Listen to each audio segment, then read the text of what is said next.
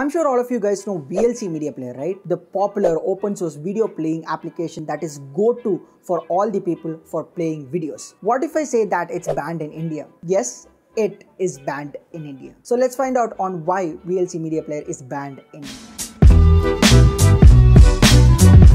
So what happened to VLC Media Player? When was it banned? And first of all, why was it banned? All these questions popped up when I also heard this news for the first time. Well, don't worry, I'm here to explain on what happened on VLC Media Player and why was it banned in the first place. But before that, if you don't know who I am, well, I'm your host Arnav and you are watching Tech Arena. And by the way, like this video because it can help reach more and more people and also consider subscribing to our channel because there are a lot of tech videos which we upload on daily basis and also share this video with your friends and also press the bell icon to get all the notifications whenever I post any new video. So let's get back to the topic on why VLC Media Player was banned. First of all, let me explain what is VLC Media Player ban itself because most of you might think that hey, VLC Media Player still works on my PC and phone then why are you saying that it's banned? Now, when I say VLC Media Player is banned, it doesn't mean that the app itself is actually banned. It means that the website from where the app should be downloaded is actually banned. Now, if you go to videolan.org,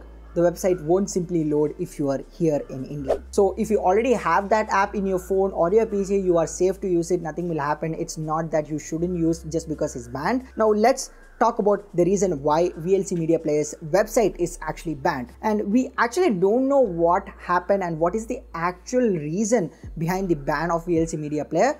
But from my research, I think I've landed into a conclusion on why it was banned. Maybe.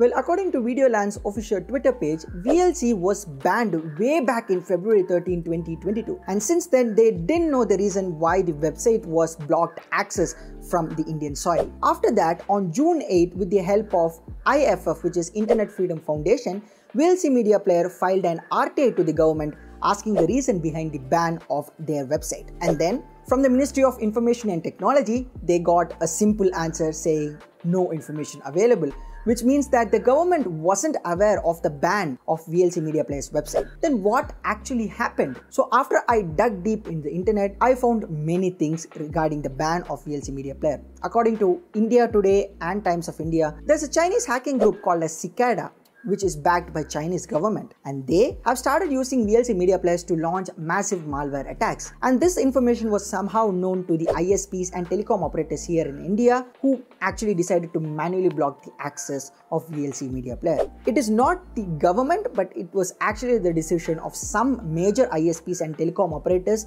to ban the access towards that website. While the ban is not for everyone, it is only for certain people who use popular telecom operators network or popular ISPs ISP's network. So say for example, I did a small test on the VLC's website. So I directly went to VLC's website and it showed me this. But now when I connected to an Indian server through a VPN, the website actually loaded. So if that website is actually banned, then it shouldn't work in the first place if I use an Indian VPN, right? I did the same for TikTok's website, then it didn't work. It didn't work on my network. It didn't work after I used a VPN an Indian VPN, which clearly proves us that this is not a country ban, but instead this is a ban by popular ISPs and popular mobile networks. And not only that, I also discovered an article on India Today which dated back in 2021 which talked about ISPs and telecom operators banning different websites. And the way they do is by using different methods. And after they ban a website, they don't give any information to its users. And not only that, they ban these websites when the government instructs them to do. So from the information that I researched myself and also is available on the internet, I came to a conclusion that VLC Media Player website is banned because of the Chinese hacking group called as Cicada